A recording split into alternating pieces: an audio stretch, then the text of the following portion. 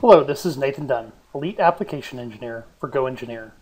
Today we're going to be looking at the SOLIDWORKS 2015 enhancements to patterns. SOLIDWORKS 2015 has several enhancements for patterns to make creation, documentation, and flexibility much easier.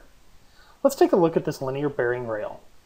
These can be purchased in any length that you want, but you can see that when I change the length of the rail, that the pattern fails.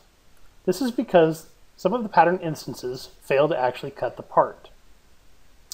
There's a new option inside of linear patterns that allows me to set a reference along with an offset value, in this case the same as, there, as on the other end, and then specify the distance between the spacing and now you can see that this linear pattern will continually update as the length of our part changes. There's also another enhancement to the linear pattern that allows me to have just a set number of instances that will be equally spaced throughout the distance of the current extrusion. So in this case, we'll say that we want to have 18 instances equally spaced. And as I make changes to the length of my extrusion, you can see that the reference geometry, as well as the number of instances, is maintained throughout. This new capability of linear pattern is going to be a real time saver. Next, there are times when we have the need to be able to pattern a body.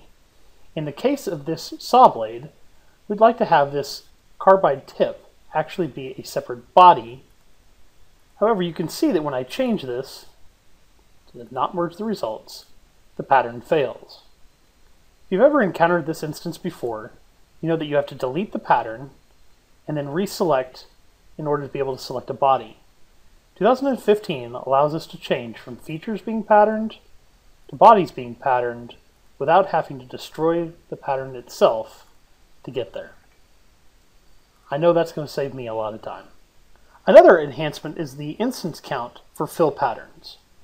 Now SOLIDWORKS will show you the number of instances being generated by a fill pattern, along with an option to validate the count, indicating that you have a correct quantity associated. This will show up as a read-only dimension inside of your model.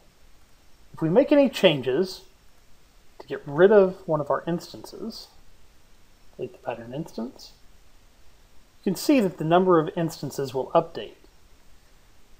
The real-time savings here is the ability to utilize this as a reference inside of a note at the drawing level.